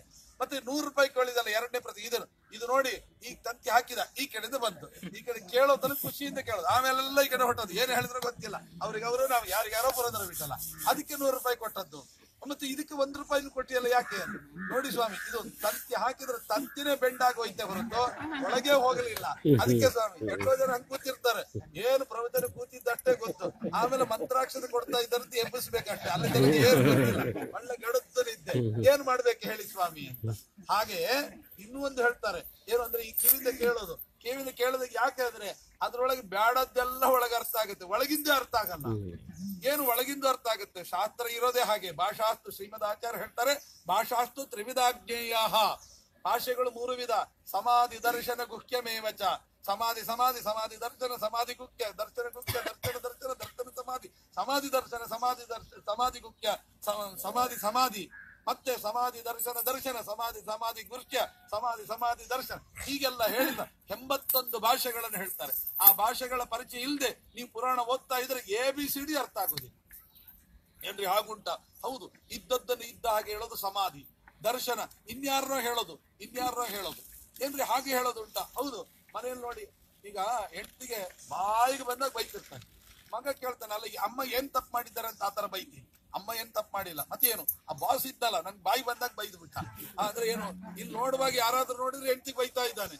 ಅದು ನಿಜವಾಗಿ ಅವ್ನು ಬೈತಾನೆ. ಅವ್ನ ಮೇಲೆಲ್ಲ ಕೋಪ ಇಲ್ಲಿ ತೀರ್ಸ್ಕೊಂತ ಇರ್ತಾರೆ ನೋಡಿದ್ರೆ ಹಾಗೆ, ಏನಿದು ಕೆಲವೊಂದ್ ಸಲ ನೋಡ್ಬೇಕು. ಈ ಗಂಡ ಹೆಂಡತಿ ಮಾತು ಬಿಟ್ಟಿರ್ತಾನೆ ಹೆಂಡತಿ ಜೊತೆಗೆ. ಅವಾಗ ಅನ್ನ ಹಾಕಿರ್ತಾರೆ ಹುಳಿಬೇಕು. ಪಕ್ಕದಲ್ಲಿ ಮಗ ಕೂತಿರ್ತಾರೆ ಏ ಹುಳಿಬೇಕು ಅಂತ ಗೊತ್ತಿಲ್ವ ಅಂತ ಮಗನ್ ನೋಡಿ ಹೇಳೋದು. ಅದು ನೋಡಿದ್ರೆ ನನಗೆ ಯಾಕೆ ಕೇಳ್ತಿದ್ರೆ ನಿನಗಲ್ಲ, ಹೇಳೋರು ಹೇಳೋದು ಅಂತ ಈಗ. ಅದು ಯಾರನ್ನ ನೋಡಿ ಯಾರಿಗೆ ಹೇಳೋದು ಪದ್ಧತಿ ಇದೆ. ಈ ಹೆಂಡತಿ ಆದವಳು ನೋಡ್ಬೇಕು, ಗಂಡನ ಜೊತೆ ಜಗಳ ಆಡಿದ್ರೆ ಮಗನ ಹಾಕಿ ಬಡಿತಾ ಇರ್ತಾಳೆ. ಯಾಕೆ ಬಡಿತಾ ಇದೆಯಾ ಮತ್ತೆ ನಿಮ್ಗೆ ಬಡಿಲಿಕ್ಕೆ ಆಗಲ್ಲ ಅದಕ್ಕೆ. ಅಂದ್ರೆ ಏನರ್ಥ? ಹೊಡಿಯೋದು ಹೊಡೆತ ತಿನ್ನೋದು ಯಾರೋ. ಇದೆಲ್ಲ ಏನು ದರ್ಶನ ಭಾಷೆ ಅಂತ ಕರೀತಾರೆ. ಈ ತರ ಎಲ್ಲ ಹೇಳೋದುಂಟು ಏನು? ಆ ಮಹಾಭಾರತದಲ್ಲಿ ಬರ್ತದೆ. ಏನು ಅಂದ್ರೆ ಈ ಅರ್ಜುನನಿಗೆ ಹೇಳುವಾಗ, ಕೃಷ್ಣ ಹೊಗಳುವಾಗ ಮಹಾಭಾರತದಲ್ಲಿ ಶೇಕಡ ತೊಂಬತ್ತರಷ್ಟು ಸೇನೆಯನ್ನು ಹೊಡೆದಂತ ಮಹಾವೀರ ಹೀಗೆ ನೀನು ಕೈಕಟ್ಟಿ ಕೂತದ್ದು ನ್ಯಾಯವ ಅಂತ. ಏನು ಇದು? ಎಂಬ ಶೇಕಡ ತೊಂಬತ್ತರಷ್ಟು ಭಾಗ ಹೊಡೆದದ್ದು ಮಹಾಭಾರತ ಹೇಳ್ತಾ ಭೀಮಸೇನ ಅಂತ. ಇಲ್ಲಿ ಹೇಳ್ತಾನೆ ಕೃಷ್ಣ ಅರ್ಜುನನ್ ನೋಡಿಸಿ ಎಂಬತ್ತರಷ್ಟು ಸೇನೆಯನ್ನು ಹೊಡೆದ ಮಹಾವೀರ ಮತ್ತೇನು ಹೀಗೆ ಹೇಳಿದ್ರಲ್ಲ ಅಂದ್ರೆ ಅದು ವ್ಯಕ್ತಿ ವ್ಯತ್ಯಾಸ ಮಾಡಿ ಹೇಳುದು ದರ್ಶನ ಭಾಷೆ ಅಂತ. ಅಲ್ಲಿ ಭೀಮಸೇನ ದೇವರನ್ನ ಹೇಳುವಂತದ್ದು. ಅದನ್ನ ಹೇಳ್ಬೇಕಾದ್ರೆ ಅರ್ಜುನ ಅಂದ್ರೆ ಆ ಭೀಮಸೇನ ನಿನ್ನೊಳಗೆ ನಿಂತುಕೊಂಡು ವ್ಯಾಪಾರ ಮಾಡಿದ. ಹೀಗೆಲ್ಲ ಅರ್ಥ. ಅರ್ಥ ಮಾಡ್ಕೊಂಡಾಗಲೇ ಗೊತ್ತಾಗೋದು. ಇನ್ನೂ ಒಂದಿದೆ ಗುಹ್ಯ ಭಾಷೆ. ಒಳಗಿದ್ದದ್ದೇ ಒಂದು, ಮೇಲ್ ನೋಡದೆ ಒಂದು. ಏನು ಅರ್ಥ ಆಗಲ್ಲ. ಎಷ್ಟು ಕಷ್ಟ ಇದೆ ಅಂದ್ರೆ ಗುಖ್ಯ ಭಾಷೆಯನ್ನು ಅರ್ಥ ಮಾಡ್ಕೊಳ್ಳೋದು. ಜ್ಞಾನಿಗಳ ಸಂಘವಾಗದ ಹೊರತು, ಶಾಸ್ತ್ರದಲ್ಲಿ ನಾವು ತಲ್ಲೀನರಾಗದ ಹೊರತು ಭಗವಂತಲ್ಲಿ ತನ್ಮಯವಾಗದ ಹೊರತು ಪುರಾಣಗಳು ಅರ್ಥವೇ ಆಗಲ್ಲ. ಪುರಾಣಗಳು ಯಾಕೆ ಸಣ್ಣ ಸಣ್ಣ ಮಾತುಗಳೇ ಅರ್ಥ ಆಗಲ್ಲ ಇವತ್ತು. ನಾನು ಯಾವುದೋ ಒಂದು ಕಡೆ ಪ್ರವಚನಕ್ಕೆ ಹೋಗಿದ್ದೆ. ಪ್ರವಚನಕ್ಕೆ ಹೋದಾಗ ಅಲ್ಲಿ ಕುರು ಶುಕ್ರವಾರ ಪ್ರವಚನ ಪ್ರಾರಂಭ ಆಗ್ಬೇಕು. ಆಗ ಅವ್ರು ಏನು ಮಾಡಿದ್ರು? ಆಚಾರ್ಯ ಒಂದು ನಿಮಿಷ. ಆಯ್ತು, ಏನು ಹೇಳಿ? ಏನಿಲ್ಲ, ಸ್ವಲ್ಪ ಮರದ ಬಾಗಿನ ಕೊಡ್ಬೇಕು, ಕೊಟ್ಬಿಡ್ತೀವಿ. ಆಮೇಲೆ ನೀವು ಪ್ರವಚನ ಶುರು. ಆಯ್ತು ಅಂದೆ. ಅವಾಗ ಏನು ಮಾಡಿದ್ರು ಗೊತ್ತಾ? ಮರ, ಕಾಲಿಗೆಲ್ಲ, ಹೆಂಗಸರಿಗೆಲ್ಲ ಉರುಟಾಣಿ ಹಚ್ಚೋದು, ಅರಶಿನ ಹಚ್ಚಿದ್ರೆ ಎಲ್ಲ ಸರಿ. ಕೊನೆಗೆ ಏನು ಮಾಡಿದ್ರು ಗೊತ್ತಾ? ತುಪ್ಪ ಹಾಕೊಂಡು ಸಕ್ಕರೆಗೆ ಒದ್ ಸಕ್ಕರೆನ ಮಿಕ್ಸ್ ಮಾಡಿ ಕಾಲಿಗೆಲ್ಲ ಒರೆಸ್ತಾ ಇದ್ರು. ನಾನು ಕೇಳಿದೆ, ಇದೆಲ್ಲ ಯಾಕೆ ಮಾಡ್ಬೇಕ್ರಿ ಇದೆಲ್ಲ ಎಲ್ಲಿ ಇಲ್ವಲ್ಲ ಅಯ್ಯೋ ಆಚಾರ್ಯ, ನಿಮ್ಗೆ ಗೊತ್ತಿಲ್ಲ, ಪುರಾಣದಲ್ಲಿ ಎಲ್ಲಿದೆ ಅಂತ. ದಾಸರು ಹೇಳಿದ್ದಾರೆ, ಏನು? ಸಕ್ಕರೆ ತುಪ್ಪ ಕಾಲಿಗೆ ಒರೆಸಿ ನೀವು ನೋಡಿದ್ರೆ ಏನು ಹಿಂಗೆ ಹೇಳ್ಬಿಟ್ರಲ್ಲ? ಅಲ್ಲಪ್ಪ ಇರೋದು ಹಾಗಲ್ಲ. ದಾಸರ ಹಾಡಿದ್ದು ಸಕ್ಕರೆ ತುಪ್ಪ ಕಾಲುವೆ ಹರಿಸಿ ಅಂತ. ನೀವು ಕಾಲಿಗೆ ಒರೆಸಿ ಅಂತ ಮಾಡಿ ಅದಕ್ಕೆ ಅವರು ಹೇಳಿದ್ರು, ಹಾಗಲ್ಲ ಆಚಾರ್ಯ, ಏನ್ ನೀವು ಹೀಗೆ ತಿಳ್ಕೊಳ್ಳಿ, ಸುಧಾ ಓದಿದ್ದೀನಿ ಅಂತಂತೀರಿ ಹೀಗೆ ಅರ್ಥ ಮಾಡ್ಕೊಳ್ಳೋದು. ಏನು? ಅವರು ವೈರಾಗ್ಯ ಬರೋದಕ್ಕಿಂತ ಮುಂಚೆ ಹಾಡಿದ್ರೆ ಸಕ್ಕರೆ ತುಪ್ಪ, ಕಾಲುವೆ ಅರಿಸಿದ್ರೆ ಕರೆಕ್ಟ್ ಆಗ್ತದೆ. ಎಲ್ಲ ವೈರಾಗ್ಯ ಬಂದ್ಮೇಲೆ ಎಳ್ಳು ನೀರು ಬಿಟ್ಟ ಮೇಲೆ ಎಲ್ಲ ವೈರಾಗ್ಯ ಏನು ಬೇಡ ಅಂತಂದಾಗ ಸಕ್ಕರೆ ತುಪ್ಪ, ಕಾಲುವೆ ಹರಿಸಿ ಅಂತಾರೆ. ಸಕ್ಕರೆ ತುಪ್ಪ, ಕಾಲಿಗೆ ಹರಿಸಿ ಅಂದ್ರೆ ಅಷ್ಟು ವೈರಾಗ್ಯ ಅಂತ ಅರ್ಥ. ಅದಕ್ಕೆ ಹೀಗೆ ಅರ್ಥ ಮಾಡ್ಬೇಕು. ಓ, ಪುರಂದ್ರದಾಸರು ಗಾಬರಿ ಆಗಿರ್ತಾರಲ್ಲ. ಇಂಥ ಅರ್ಥಗಳು, ವ್ಯಾಖ್ಯಾನಗಳು ಇಂಥ ವ್ಯಾಖ್ಯಾನಗಳು ಇರ್ತವೆ ಅಂತ ಇವತ್ತೇ ಅರ್ಥ ಆಯ್ತು. ಆಚಾರ್ಯ ಆ ಇನ್ಮೇಲೆ ಪ್ರವಚನ ಶುರು ಮಾಡ್ಬೋದು. ನಾನ್ ಪ್ರವಚನ ಕೂತೆ. ಕೂತಾಗ ನೋಡಿ, ಇಲ್ಲಿ ಬಂದ್ಮೇಲೆ ಬರೋ ತನಕ ಒಂದು ಸಮಸ್ಯೆ ಇತ್ತು. ಬಂದ್ಮೇಲೆ ಮತ್ತೊಂದು ಸಮಸ್ಯೆ ಆಯ್ತು. ಏನು ಸಕ್ಕರೆ ತುಪ್ಪ ಕಾಲಿಗೆ ಹರಿಸ್ಬೇಕಾ ಅಂತ ಆಯ್ತು, ಕಾಲಿಗೆ ಒರೆಸ್ಬೇಕಾ ಅಂತ. ಈಗ ನಂಗೆ ಕೂತ ಮೇಲೆ ಇನ್ನೊಂದು ಸಮಸ್ಯೆ ಹುಟ್ಟಿತ್ತು ಇದು ಎಲ್ಲಿದು? ಭಾಗ್ಯದ ಲಕ್ಷ್ಮಿ ಬಾರಮ್ಮ. ಹಾಗಾದ್ರೆ ಭಾಗ್ಯದ ಲಕ್ಷ್ಮಿ ಬಾರಮ್ಮ ಅಂತ ಹಾಡ್ಬೇಕಾ ಬೇಡವಾ ಯಾಕಂದ್ರೆ ಭಾಗ್ಯಕ್ಕೆ ಎಳ್ಳು ನೀರು ಬಿಟ್ಟು ಬಂದು ತಿರ್ಗಾ ಭಾಗ್ಯದ ಲಕ್ಷ್ಮಿ ಬಾರಮ್ಮ ಅಂದ್ರೆ ಏನನ್ಬೇಕು ಹಾಗಾದ್ರೆ ಏನನ್ಬೇಕು ವೈರಾಗ್ಯದ ಲಕ್ಷ್ಮಿ ಬಾರಮ್ಮ? ಇಲ್ಲ ದರಿದ್ರ ಲಕ್ಷ್ಮಿ ಬಾರಮ್ಮ? ಏನ್ ಕರಿಬೇಕು ಅಂತ ಅರ್ಥ ಆಗ್ತಾ ಇಲ್ಲ ಇಲ್ಲ. ಆಚಾರ್ಯ, ಅದು ನೀವೇ ಹೇಳ್ಬೇಕು, ನಮ್ಗೆ ಗೊತ್ತಿಲ್ಲ ಅಲ್ಲ, ಮತ್ತೆ ಶುಕ್ರವಾರದ ಪೂಜೆ ವೇಳೆಗೆ. ಹಂಗಾರೆ ಶುಕ್ರವಾರ ಬಿಟ್ಟು ಬೇರೆ ದಿನ ಪೂಜೆ ಮಾಡಬಾರ್ದ? ಏನು ವೀಕ್ಲಿ ಒನ್ ಟೈಮ್ ಏನು, ಶುಕ್ರವಾರದ ಮಾತ್ರ ಓನ್ಲಿ ಫ್ರೈಡೆ ಪೂಜಾ? ಬೇರೆ ದಿನ ಬೇರೆ ಪೆಟ್ಟಿ ಕಟ್ಟಿಟ್ಬಿಡೋದು? ಏನಿದೆ ಹಾಗಾದ್ರೆ? ಶುಕ್ರವಾರದ ಪೂಜೆಯ ವೇಳೆಗೆ ಬಾರಮ್ಮ, ದಿನ ಬಾರಮ್ಮ ಅಂತ ಹೇಳೋದು ಬಿಟ್ಟು ಶುಕ್ರವಾರದ ಎಲ್ಲ ಏನ್ ಅರ್ಥ ಮಾಡ್ಕೊಳ್ಬೇಕು? ಅದಕ್ಕೆ ನಾನು ಹೇಳಿದೆ, ನೋಡಿ, ಇದಕ್ಕೆಲ್ಲ ಅರ್ಥ ನಮಗೆ ಬಾಯಿಗೆ ಬಂದ ಹಾಗೆ ಮಾಡೋದಲ್ಲ. ವ್ಯಾಸರಾಜರಂತ ಮಹಾನುಭಾವರೇ ಪುರಂದರದಾಸರ ಮಾತನ್ನ ಉಪನಿಷತ್ತು ಅಂತ ಕರೆದಿದ್ದಾರೆ. ಹಾಗಾದ್ರೆ ಏನ್ ಅರ್ಥ ಮಾಡ್ಬೇಕು? ಅವ್ರನ್ನೇ ಕೇಳಿ. ಸ್ವಾಮಿ, ನಮ್ಗೆ ಅರ್ಥ ಆಗ್ತಾ ಇಲ್ಲ, ನೀವೇ ಹೇಳಿ ಅಂತ. ಆಗ ಅವರು ಉತ್ತರ ಕೊಡ್ತಾರೆ. ಏನಪ್ಪ ಸಮಸ್ಯೆ? ಸಕ್ಕರೆ ತುಪ್ಪ, ಕಾಲುವೆ ಹರಿಸ್ಬೇಕಾ ಬೇಡ ಕಾಲುವೆ ಹರಿಸಿ ಅಂತ ಹೇಳಿದ್ದೇ ಹೇಳಿ ಅಲ್ಲ, ಮತ್ತೆ ದೋಷ ಬಂತಲ್ಲ? ಇಲ್ಲ. ಯಾಕೆ ಅಂದ್ರೆ ಅದಕ್ಕೆ ವ್ಯಾಖ್ಯಾನ ಬರುದು ಪುರಂದರದಾಸರು. ಏನಂತ? ಸಕ್ಕರೆ ತುಪ್ಪ ಕಾಲುವೆ ಹರಿಸಿ ಅಂತ ಇದೆಯಲ್ಲ ಅದಕ್ಕೆ ಅರ್ಥ ಏನು ಅಂದ್ರೆ ಸಕ್ಕರೆ ತುಪ್ಪ ಅಂದ್ರೆ ಏನು? ಅದಕ್ಕೊಂದು ಹಾಡಾಡಿದ್ರು. ಅಂತ ರಾಮನಾಮ ಪಾಯಸಕ್ಕೆ ಕೃಷ್ಣನಾಮ ಸಕ್ಕರೆ, ವಿಠ್ಠಲ ನಾಮ ತುಪ್ಪ ಹಾಗರೆ ಹಾಗಾದ್ರೆ ಕೃಷ್ಣನಾಮ ಸಕ್ಕರೆ, ವಿಠ್ಠಲ ನಾಮ ತುಪ್ಪ. ಹಾಗಾದ್ರೆ ಸಕ್ಕರೆ ತುಪ್ಪ ಅಂದ್ರೆ ಕೃಷ್ಣ ವಿಠ್ಠಲ. ನಾಮ ಸಂಕೀರ್ತನೆ ಅಲ್ಲಿ ಹೊರತು, ಕಾಲಿಗೆ ಕಸಕ್ಕೆ ಸಂಬಂಧ ಅಲ್ಲ.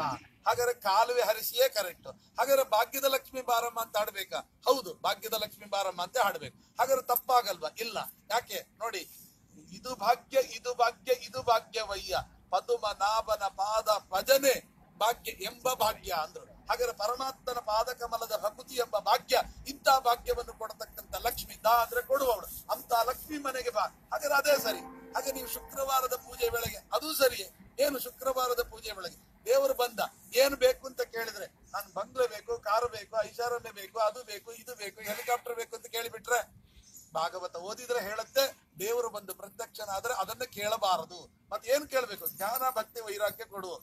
ಯಾಕೆಂದ್ರೆ ನೀನು ಪ್ರಸನ್ನೇ ಭಗವತಿ, ಪ್ರಸನ್ನೇ ಶ್ರೀನಿಕೇತನೆ ಕಿಮ ಲಭ್ಯಂ ಭಗವಂತ ಪ್ರಸನ್ನನಾದ್ರೆ ಏನಿಲ್ಲ. ಅದಕ್ಕೆ ನಮಗೆ ಭಗವಂತನ ದುರ್ಯೋಧನ ಅರ್ಜುನ ಇಬ್ರು ಕೃಷ್ಣನ ಸಹಾಯ ಕೇಳಲಿಕ್ಕೆ ಹೋದ್ರು. ಏನ್ ಕೇಳಿದ್ರು? ಆ ದುರ್ಯೋಧನ ಎಲ್ಲಾ ಯಾವತ್ತು ಸೇನೆಯನ್ನು ಕೇಳಿದ? ಏನದ ಹಾಳದ?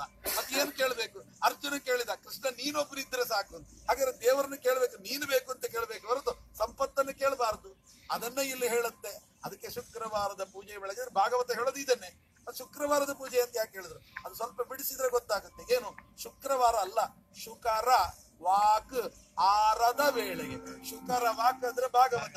ಆ ಆಕು ಏನು, ವಾಕ್ ಏನಿದೆ? ನೋಡಿ, ದೇವ್ರನ್ನ ಕೇಳ್ಬೇಕು, ವಸ್ತುವನ್ನ ಕೇಳಬೇಡಿ ಅಂತ. ಅಂತ ತತ್ವ ಆರದ ವೇಳೆಗೆ ಮರ್ತು ಹೋಗೋದಕ್ಕಿಂತ ಮುಂಚೆ ನೀನು ಬಂದ್ರೆ ಅಂತ ಟೈಮಿಗೆ ಬಾರಮ್ಮ. ನಾನು ಏನ್ ಬೇಕು ನಾನು ಕೇಳ್ತೇನೆ. ಅದು ಬಿಟ್ಟು ಮರ್ತು ಹೋದ್ಮೇಲೆ ಕೇಳಿದ್ರೆ ಏನ್ ಪ್ರಯೋಜನ? ಹೀಗೆ ಒಳಗಿನ ಅರ್ಥ ಹೀಗೆ. ಈಗೆಲ್ಲ ಒಳಗಿನ ಅರ್ಥವನ್ನು ತಿಳ್ಕೊಳ್ಳದೆ. ಮತ್ತೆ ಸಕ್ಕರೆ ತುಪ್ಪವನ್ನೇ ಯಾಕೆ ತಗೊಂಡ್ರಿ?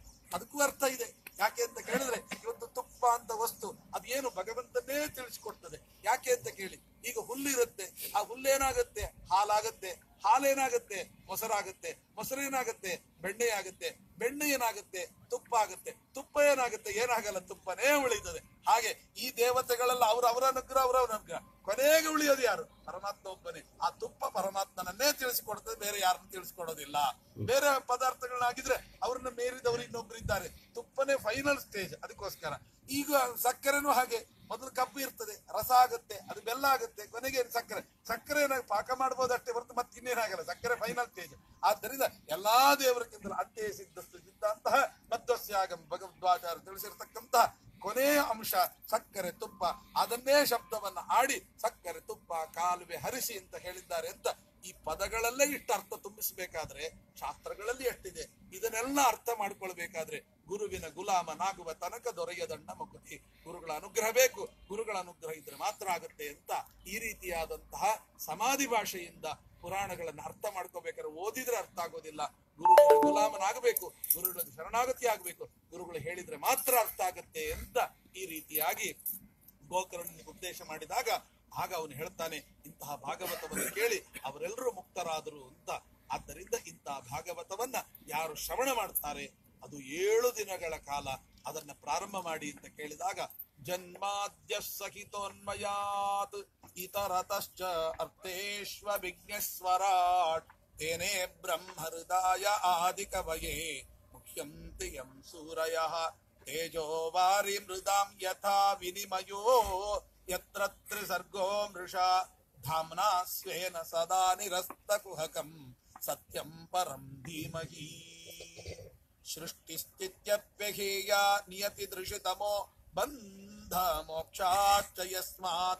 ಅಸ್ಯ ಶ್ರೀ ಬ್ರಹ್ಮ ರುದ್ರ ಪ್ರಭೃತಿ ಸುರನರ ದ್ವೇಷಶತ್ರಾತ್ಮಕಸ್ಯ ವಿಷ್ಣೋರ್ವ್ಯಸ್ತ ಸಮಸ್ತಾತ್ ಸಕಲ ಗುಣ ನಿಧಿ ಸರ್ವದೋಷ ವ್ಯಪೇತಃ ಪೂರ್ಣಾನಂದೋ ವ್ಯಯೇಯೋ ಗುರುರಪಿ ಪರಮಃ ಚಿಂತಯೇತಂ ಮಹಾಂತಂ ಧರ್ಮ ಪ್ರೋಜಿತ ಕೈತವ ಅಂದ್ರೆ ಇಲ್ಲಿ ಮುಖ್ಯವಾಗಿ ಜನ್ಮಾದ್ಯಸ ಯತಃ। ಜನ್ಮಾದ್ಯಸ ಯತಃ ಅಂದ್ರೆ ಸ್ವಲ್ಪ ಶಾಸ್ತ್ರೀಯ, ಸ್ವಲ್ಪ ಲೌಕಿಕ ಎರಡನ್ನು ಮಿಕ್ಸ್ ಮಾಡಿ ಹೇಳ್ತೇನೆ. ಜನ್ಮಾದ್ಯಸ್ಯ ಸಹಿತ ಎಲ್ಲರೂ ನಾವು ಕೇಳೋದೇನು? ನಮ್ಗೆ ಸುಖ ಬೇಕು, ದುಃಖ ಬೇಡ. ಹೌದು ನಮಗೆ ಯಾಕೆ ದುಃಖ ಬರ್ತದೆ? ಈ ಗಿಡ ಮರಗಳಿಗೆ ದುಃಖ ಬರ್ತದ? ಅದಕ್ಕೆ ಹೇಳ್ತಾರೆ, ನೋಡಿ ಜಗತ್ತಲ್ಲಿ ಇರೋದೇ ಮೂರು ವಸ್ತುಗಳು. ಒಂದು ಜಡ, ಒಂದು ಜೀವ, ಒಂದು ಪರಮಾತ್ಮ. ಜೀವಾಯೇತು ದುಃಖಿನ? ನೋಡಿ, ದುಃಖ ಯಾರಿಗೆ? ಜಡಕ್ಕುಂಟ ದೇವಕ್ಕುಂಟ ಇಲ್ಲ ಉಳಿದದ್ದು ಮೂರು ಮೂರು ಪದಾರ್ಥಗಳು, ಅದರಲ್ಲಿ ಜೀವಕ್ಕಿಲ್ಲ ಜ- ಅಲ್ಲ ಪರಮಾತ್ಮನಿಗಿಲ್ಲ, ಜಡಕ್ಕಿಲ್ಲ. ಇನ್ನು ಉಳಿದದ್ದು ಜೀವ ಮಾತ್ರ. ಹಾಗಾದ್ರೆ ಜೀವನಿಗೆ ಮಾತ್ರ ದುಃಖ ಯಾಕೆ? ಅಂದ್ರೆ ಜೀವ ಏವತ್ತು ದುಃಖ. ಆ ತೇಷಾಂ ದುಃಖ ಪ್ರ ಆ ದುಃಖವನ್ನು ಹೋಗಲಾಡಿಸಲಿಕ್ಕೆ ಶಾಸ್ತ್ರಗಳು ನಮ್ಮ ಜೀವರಿಗೆ. ಇಂಥ ಜೀವರಿಗೆ ಬರತಕ್ಕಂತ ದುಃಖಗಳನ್ನು ಹೋಗಲಾಡಿಸ್ಬೇಕಾದ್ರೆ ಏನ್ ಮಾಡ್ಬೇಕು? ಯಾಕೆ ದುಃಖ? ಅದಕ್ಕೆ ಹೇಳ್ತಾರೆ, ಭಾಗವತ ಕೇಳಿದ್ರೆ ಉತ್ತರ ಕೊಡ. ಜನ್ಮಾದ್ಯ ಸಹಿತ. ಜನ್ಮಾದ್ಯ ಅಂದ್ರೆ? ಜನ್ಮ ಅಂದ್ರೆ ಹುಟ್ಟೋದು ಅಂತಾರೆ. ಈ ಪ್ರಪಂಚದಲ್ಲಿ ಹುಟ್ಟಿದೆಯಲ್ಲ, ಅದಕ್ಕೋಸ್ಕರ.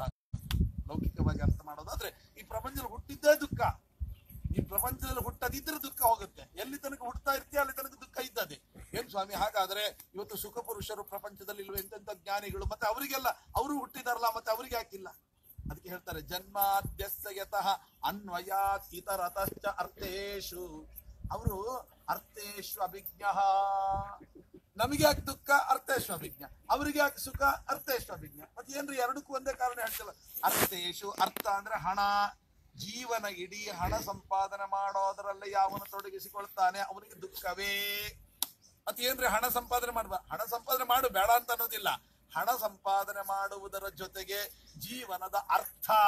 ನಾನು ಹುಟ್ಟಿದ್ದು ಏನು ಸಾರ್ಥಕ? ಅಂತ ಜೀವನದ ನಿಜವಾದ ಅರ್ಥವನ್ನು ತಿಳ್ಕೊಂಡ್ರೆ ಜ್ಞಾನಿಗಳು ಸುಖ ಪಡ್ತಾರೆ ಬರೀ ಹಣವೇ ಜೀವನದ ಮುಖ್ಯ ಉದ್ದೇಶ ಅಂತ ತಿಳ್ಕೊಂಡ್ರೆ ದುಃಖ. ಅರ್ಥಸ್ಯ, ಅದಕ್ಕೆ ಹೇಳ್ತಾರೆ, ಅರ್ಥೇಶ್ವ ವಿಜ್ಞ ಇನ್ನೇನು ಗೊತ್ತಾ? ಅರ್ಥ ಗಳಿಸ್ತಾ ಗಳಿಸ್ತಾ ಏನಾಗ್ತದೆ? ಸ್ವರಾಟ್ ನಾನು ಎಲ್ಲರಿಗಿಂತ ದೊಡ್ಡ, ಮೊದಲು ಮನೆಯಲ್ಲಿ ನಾನು ಯಜಮಾನ ಆಮೇಲೆ ಊರಿಗೆ ಯಜಮಾನ. ಆಮೇಲೆ ನಾನು ಕಾರ್ಪೊರೇಟರ್. ಆಮೇಲೆ ಎಂ ಎಲ್ ಎ ಆಗ್ಬೇಕು. ಆಮೇಲೆ ಎಂ ಪಿ ಆಗ್ಬೇಕು. ಆಮೇಲೆ ನಾನೇ ಇದು ಸಿಎಂ ಆಗ್ಬೇಕು. ಎಲ್ಲ ಒಂದೊಂದೊಂದೊಂದು ಜಗತ್ತೇ ನಂದಾಗಬೇಕು ಅಂತ ಕೊನೆಗೆ ಹೋಗ್ತಾನೆ ಮಾಡಿದ ಅದೇ ಅಲ್ವ? ಎಲ್ಲ ಜಗತ್ತೇ ನಂದಾಗಬೇಕು ಮಾಡಿ ಕೊನೆಗೆ ಮಣ್ಣು ಪಾಲಾದ. ಹಾಗೆ ನಮ್ದು ಅದೇ ಕೊನೆಗೆಲ್ಲ ಒಂದಲ್ಲ ಒಂದಿನ ಮಣ್ಣು ಪಾಲಾಗೋದೆ. ಮಣ್ಣು ಪಾಲಾಗೋದಕ್ಕೆ ಇಷ್ಟೆಲ್ಲ ಯಾಕೆ ಕಷ್ಟ ಕಟ್ಪಡ್ಬೇಕು ಇದರ ಅರ್ಥ ದುಡಿಬಾರ್ದು ಅಂತಲ್ಲ, ದುಡಿರಿ. ಎಷ್ಟು ಬೇಕೋ ಅಷ್ಟು ದುಡಿರಿ. ಅದ್ ದುಡಿಯೋದೇ ಜೀವನ ಆಗ್ಬಾರ್ದು. ಜೀವನಕ್ಕೆ ದುಡಿಬೇಕೇ ಹೊರತು ದುಡಿಯೋದೇ ಜೀವನ ಆಗಿಬಿಟ್ರೆ ಹೋಯ್ತಲ್ಲಿಗೆ ಸಾಧನೆ ಏನ್ ಮಾಡ್ಕೊಂಡ್ರಿ? ಅನ್ನುವಂತ ಅರ್ಥವನ್ನ ಜನ್ಮಾದ್ಯಸ್ತ ಸ್ಥಗಿತೋನ್ಮಯಾತ್ ಇತರ ಅರ್ಥ ಅರ್ಥೇಶ್ವ ವಿಜ್ಞ ಸ್ವರಾಟ್. ತೇನೇ ಬ್ರಹ್ಮ ಹೃದಯ ಅದು ಇಷ್ಟು ಸರಳವಾಗಿದೆಯಾ ತತ್ವ? ಹೌದು. ಮತ್ತೆ ಯಾಕೆ ಅರ್ಥ ಆಗಲ್ಲ? ಬ್ರಹ್ಮ ಮುಖ್ಯಂತೆಯಂ ಸೂರಯ. ದೇವರ ದೇವತೆಗಳೇ ಮೋಹಿತರಾಗಿ. ಇನ್ ನಮ್ದು ಯಾವ ಲೆಕ್ಕ ಅಂತಾರೆ? ಮುಖ್ಯಂತೆಯಂ ಸೂರಯ. ಅದು ಇವೆಲ್ಲ ಯಾಕಾಗತ್ತೆ? ತೇಜೋ ಬಾರಿ ಯಥಾ ವಿನಿಮಯ. ಜಗತ್ತಲ್ಲಿ ಮೂರಿದೆ ನೋಡಿ. ಇದೇ ಎಲ್ಲ ಉಲ್ಟಾ ಪಲ್ಟಾ ಆಗೋದು. ಏನು? ತೇಜೋ ವಾರಿ ಮೃದಾಂ ಅಂದ್ರು. ಏನ್ ಗೊತ್ತಾ? ಹೆಣ್, ಹೆಣ್ಣು, ಹೊನ್ನು, ಮಣ್ಣು. ಈ ಮೂರೇ ಉಲ್ಟಾ ಪಲ್ಟಾ ಮಾಡೋದು. ಏನ್ರಿ? ನನಗೆ ಹೆಣ್ಣಿನ ಮೋಹ ಇಲ್ಲ. ಮೋಹ ಇದೆ. ಮಣ್ಣಿನ ಮೋಹ ಇಲ್ರಿ? ಮಣ್ಣಿನ ಮೋಹ ಇದೆ. ನಾನು ಅಷ್ಟು ಸೈಟ್ ಮಾಡ್ಬೇಕು ಸರ್. ನನಗೆ ಹೆಣ್ಣಿನ ಮೋಹ ಇಲ್ಲ. ಅಷ್ಟು ಸೈಟ್ ಮಾಡ್ಬೇಕು ಅಂತಿದೆ ಆ ಸೈಟ್ ಇಲ್ಲ, ಇಷ್ಟು ಬ್ಯಾಂಕ್ನಲ್ಲಿ ಎಫ್ ಇಡಬೇಕು ಅಂತ. ಯಾವ್ದಾರು ಒಂದು. ಈ ಮೂರೊಳಗೆ ಒಂದಲ್ಲ ಒಂದು ವ್ಯಾಮೋಹದಲ್ಲಿ ಭಗವಂತ ಕೆಡವೆ ಕೆಡುತ್ತಾನೆ ಈ ಮೂರನ್ನ ಮೀರಿ ಗೆಲ್ಲೋದು ಅಂದ್ರೆ ಅದೇ ಮೋಕ್ಷ. ಮುಖ್ಯಂ ದಯಂ ತೂರಯ ತೇಜೋ ಬಾರಿ ಮೃದಾಂ ಯಥಾ ವಿನಿಮಯ. ಯತ್ರ ಸರ್ಗೋ ಮೃಷ. ಧಾಮನಾ ಸ್ವೇನ ಸದಾ ನಿರಸ್ತ ಕುಹಕಂ ಎಲ್ಲ ಮೀರಿದವನಂದ್ರೆ ದೇವರೊಬ್ಬನೇ. ಅವನು ಹಿಡಿದ್ರೆ ನಾವು ಕೂಡ ಸುಖವಾಗಿರಬಹುದು ಅಂತ. ಸತ್ಯಂ ಪರಂ ಧೀಮಹಿ ಅಂತ ಪರಮಾತ್ಮನನ್ನ ನಾವು ಧ್ಯಾನ ಮಾಡೋಣ. ಇದು ಲೌಕಿಕವಾಗಿ. ಅಧ್ಯಾತ್ಮದಲ್ಲಿ ಹೋದ್ರೆ ಜನ್ಮಾದ್ಯಸ್ತಯತಃ ಜಗತ್ತಿನ ಇಡೀ ಸೃಷ್ಟಿ ಸ್ಥಿತಿ, ಲಯ, ನಿಯಮನ, ಜ್ಞಾನ, ಅಜ್ಞಾನ ಬಂದ ಮೋಕ್ಷಗಳಿಗೆ ಭಗವಂತನೇ ಕಾರಣನಾಗಿದ್ದಾನೆ. ಅಲ್ಲ, ಕಾರಣನಾಗಿದ್ದಾನೆ ತಿಳ್ಕೊಂಡ್ಬಿಟ್ರೆ ಮೋಕ್ಷ ಆಗುತ್ತೆ? ಆಗುತ್ತೆ. ಅಷ್ಟೇ ಅಲ್ಲ, ಅನ್ಮಯಾತ್. ಅನ್ವಯ ಮಾಡ್ರಿ. ಏನು ಇತರ ತರ ತಶ್ಚ ಬೇರೆಯವರು ಈ ತರ ಮಾಡ್ತಾರ ನೋಡಿ. ಯಾರು ಹೇಳ್ತಾರೆ, ಏನಮ್ಮ, ನೀನ್ ಮಾಡ್ತೀಯಾ? ನೆಕ್ಸ್ಟ್ ಯಾರು? ಪರಮಾತ್ಮನ ಬಿಟ್ಟು ಲಕ್ಷ್ಮಿನೇ ಮಾಡಿರ್ಬೋದಲ್ವಾ? ಅವಳನ್ನ ಕೇಳಿ. ಅವಳು ಹೇಳ್ತಾಳೆ ಏನು ಅಂತ ಯಂಕಾಮಗೇತಂತ ಮುಗ್ರಂ ಕ್ರೀಡೋಮಿ ತಂ ಬ್ರಹ್ಮಾಣಂತಂ ಋಷಿಂ ತಂ ಸುಮೇಧಾ. ನಾನೆಲ್ಲಿ ಮಾಡ್ತೀನಿ? ಇದೆಲ್ಲ ಮಾಡೋದ್ ನಿಜ. ಆದ್ರೆ ಮಮ ಯೋನಿ ಒಳಗಿದ್ದ ನೋಡಿ, ಅವನು ಕೃಪಾ ಕಟಾಕ್ಷ ಬಿದ್ರೆ ನಾ ಮಾಡ್ತೀನಿ. ಇಲ್ಲದ್ರೆ ನಾನೇನ್ ಮಾಡ್ತೀನಿ? ಓ, ನಿನ್ನೊಂದು ಆಗಲ್ವಾ? ಸರಿ, ಬ್ರಹ್ಮದೇವ